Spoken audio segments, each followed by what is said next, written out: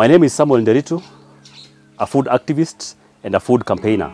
I advocate for fair food, clean food, healthy and affordable food. I want to talk about the black soldier flies, which are very important to the smallholder farmers who are rearing either fish or livestock or even pigs because this larva is feeds to the livestock.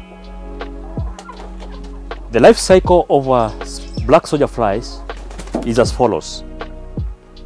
After laying the eggs, the eggs will hatch into larva and this larva is the stage where um, in the whole cycle this is the only stage that feeds and they feed on the waste materials that comes from our farms either from our kitchen or from the crops that we grow and so you just feed them on that and they consume and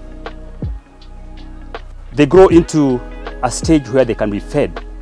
And they contain a lot of proteins that can feed your livestock throughout even without feeding them with any other feeds.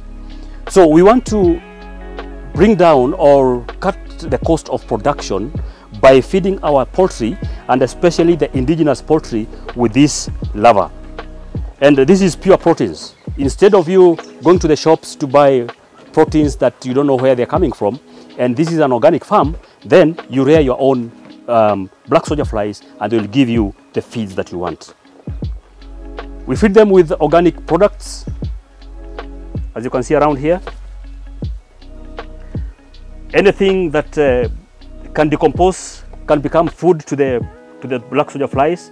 And you can as you can see here they have started they have hatched and uh, this now will grow into mature larva.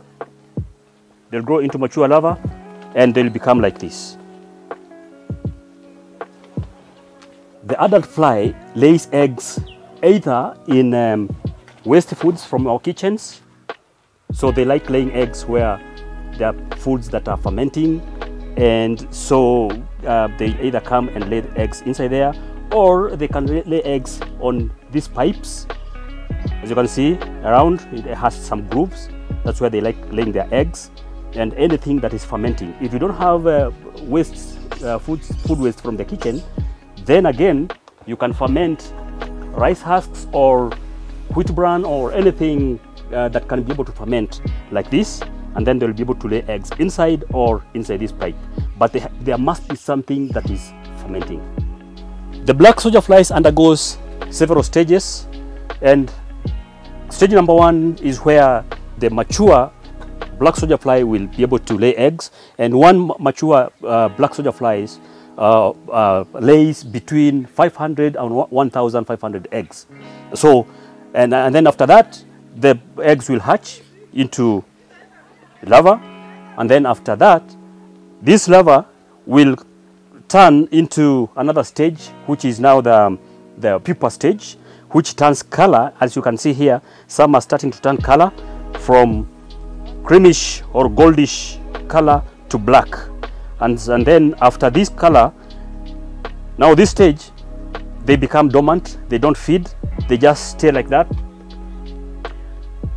And then that stage after they have become pupa stage you now put them in a cage like this. And you put them in the cage so that when they become adults they'll not fly away. So you put them in a cage where um, you can be able to see them. It's transparent or translucent like this one here and probably it can be a shade net or something like that. You can see we have two different types of shade nets this one and this other one here. And because we are small scale we we don't have a lot of um, poultry but we will be able to grow as we go along I want to show you how this is kept. This is the pupa stage which is dormant. And these ones don't eat they don't feed on anything. And then they'll convert now into adults. So all these should be put inside a cage. And then they'll convert into the adults as you can see inside. And the, the, the adult is a bit longer It resembles a wasp. It's a bit longer. It's about 0. Point something um, inches long, and and the the, the the the adult doesn't eat, doesn't um, have a, a, a developed mouth. Therefore, it doesn't eat anything, and their diet is only water. Their diet is only water, so you have to put water inside the cage, and probably you can use a cotton wool, dampen the cotton wool, and then you put it inside the cage. Or you can use um, a sponge something or a mattress make it damp with water and then you put it inside there. They don't eat anything just water. And therefore they don't transmit diseases. They they are, they are not active. They don't fly a lot. They're just dormant. And their work is only to lay eggs. And then after about five to eight days they die. The whole cycle of um, the black soldier fly is about 40 days or more, about 40 something days. That is from laying of eggs until the adult dies.